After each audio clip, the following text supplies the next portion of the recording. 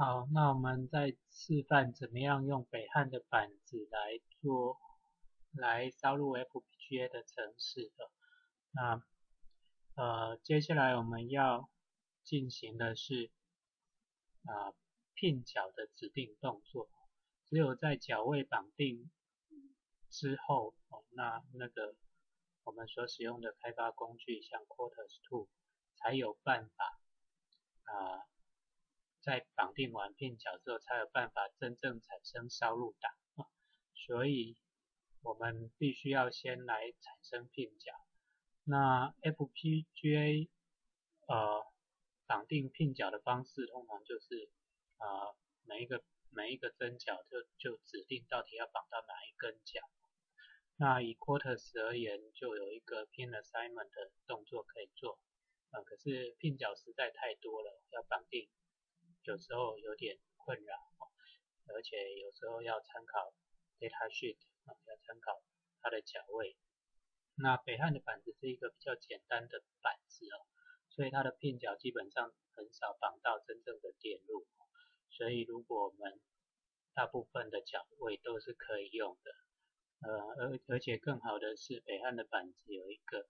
啊叫做 HDL Auto Assign Pin 这个工具，它可以用来自动的帮我们绑定脚位，那避开一些它已经绑定的针脚啊，然后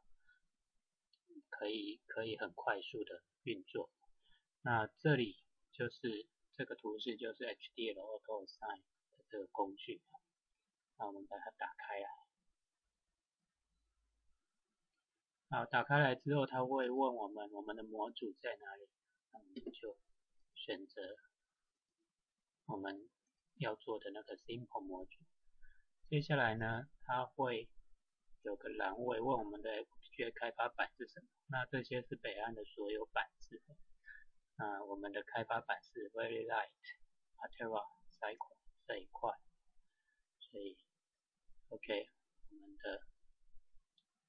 呃 Very Light，呃可能选错了，我们看一下 Very Light。Altera Cycle 哦，是四的这一块，不是二的那一块，是 EP 四 C 一三零 F 二三 C 八这一块才对啊。那如果选错的话，可能就会有问题啊，所以请务必选对。好，选完之后呢，我们想产生给 v e r y 看和 v e r y 用，所以就使用这个方式。然后呢，呃，按下一步之后，就会发现说，OK，它的拼角都绑好了，然后 clock 确实绑到了 clock 哈，那绑绑到了 clock source，那这边 input 哦就绑到 pin M3，output 绑到 pin W1 啊，那这两根针脚应该都还是没有被占用的，所以应该可以使用。其他的拼角还有很多，但是。我们就不需要指定了，因为我们只用到这几根，在这个非常简单的范例底下，只有这几根我们用到了。所以呢，接下来我们就要来按 Next，按 Next 之后呢，OK，这里啊，它就会帮我们产生 QSF 这一个档案。那产生在哪里呢？嗯，其实无所谓了哈，只要这个 QSF 档案不要跟或者是原有的通道也就可以了，或者甚至我们直接产生把它覆盖掉也可以。那在这边我们习惯了，还是希望把它们分开，所以我在这边建立一个北汉的资料夹啊，然后把它分开。那这边呢就就一样了，叫做 simple。Q Q S F 好，就 simple 点 Q S F 按 generate 啊，它就产生了片角的资讯。那我们可以到啊这边一是 Altera 原本的 Q S F 档，它是空的，没有指定片角。那刚刚我们产生的 Q S F 档在这里，我们可以稍微参考一下。啊比较一下，好，我们新产生的 QSF 档，它有指定的 pin AB 十二到 clock，pin M 三到 I，pin W one 到 O 哈。但是呢，原本旧的那一个呢，除了一些注解以外，它没有指定任何的 pin 讲资讯啊。这也是为什么我们要用新的去覆盖旧的，用北汉的去覆盖 quarters 的原因啊。那我们现在就就把这一个档案啊偷过去，把它复制，啊复制过去，把它丢到北汉的这一个贴上，那把它取代掉，好，那取代完成之后呢，这一个档案就会是，重新载入就会是新的档案，啊有了这一个之后呢，我们就可以再调出。Quarters 的这个啊开发环境哦，然后我们把这边重新进行编译一次，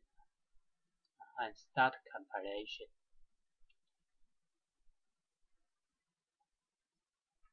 好，那这个编译呢的动作就会比较慢了，比我们刚刚用 Synthesize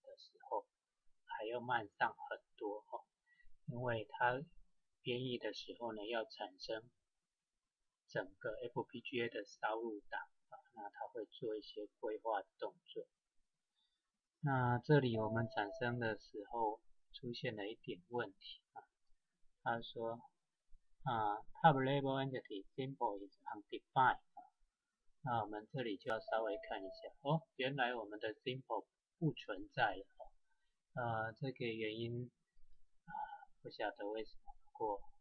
不管怎么样，我们重新把它加进啊，重新加一次 simple。哦，可能刚刚指定的时候直接打名字，但是但是事实上没有东西哦，所以我们应该把它从这个 Eclipse 这边给它拉进来，按 Add 加入，按 Apply，OK。那这个被更改了好，OK，啊，刚刚的这一个并角指定，现在好像又多了一点东西，有点怪怪的，好，没关系，我们再来回来这边，回来这边，那我们刚刚把它加入了，所以现在啊，Simple 已经进来，就应该不会出现刚刚那个问题。不过啊，我们最好把它 top level Entity 设一下，因为我们只有一个模组，这个模组一定就是 top Label，最最上层元件。然后呢，我们就把它再编译一次。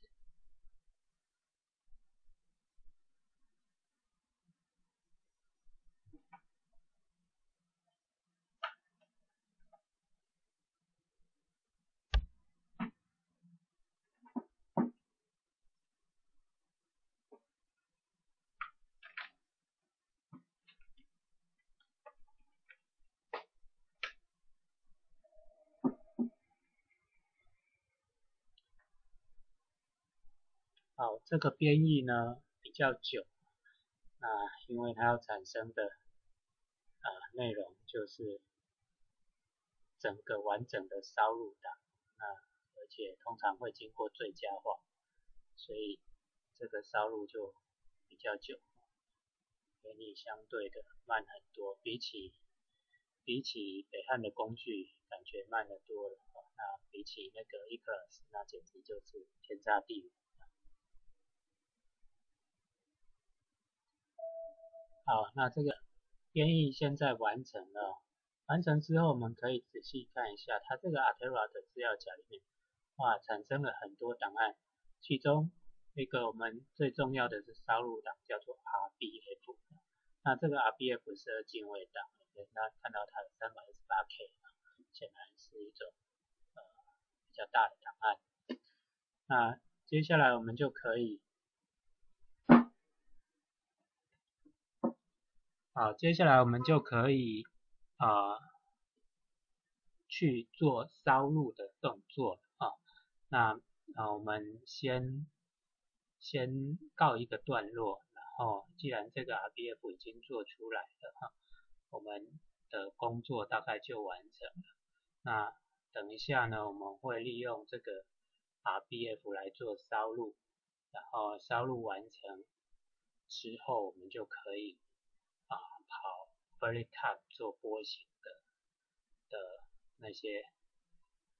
侦测的事情和观察。我们的电路行为是否正确，然后再用 Value Instrument 呃来做啊一些虚拟电路，应该不叫虚拟电路，就是虚拟的外接周边，然后却接接到真实的 FPGA 上面。那现在我们已经完成了变异动作，项目就可以来做这些事情。